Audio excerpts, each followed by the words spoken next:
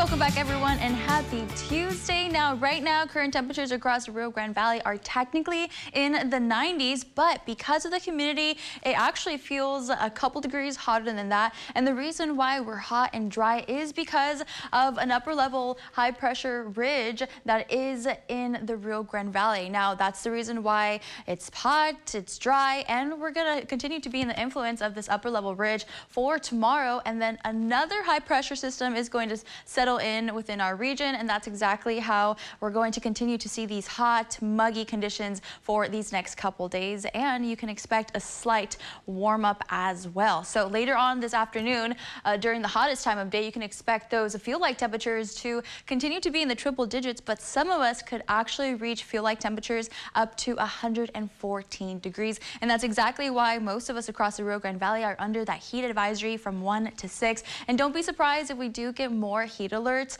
uh, starting tomorrow, really, and these next couple days as we head into the weekend. And we are seeing some talk of an excessive heat warning for the weekend. So just take that in consideration, especially if you do have plans to do some traveling, since it is a longer weekend because of Memorial Day, or even if you have plans to go out to South Padre Island. Now, we did talk about some heat safety tips, but another thing that you also have to consider or keep in mind is some signs of heat-related illnesses. And here's a a closer list of what to keep in mind these next couple days. So if you are experiencing some headaches, dizziness, a lot of sweating, weakness, elevated body temperatures, and a lot of thirst, that could mean uh, you need to slow down, uh, you need to take plenty of breaks, drink a lot of water. Just listen to your body these next couple days because we're going to continue to see hot, muggy, and hazy conditions for these next couple days. And getting a closer look at those temperatures, now we're technically still going to be in the upper 90s to low 100s. However, However, as we head toward the weekend and for this upcoming work week,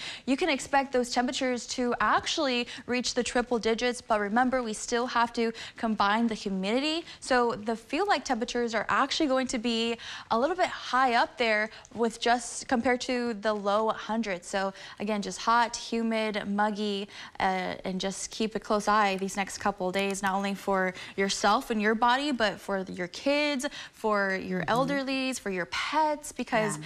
if you're feeling these hot, unbearable conditions, so are they.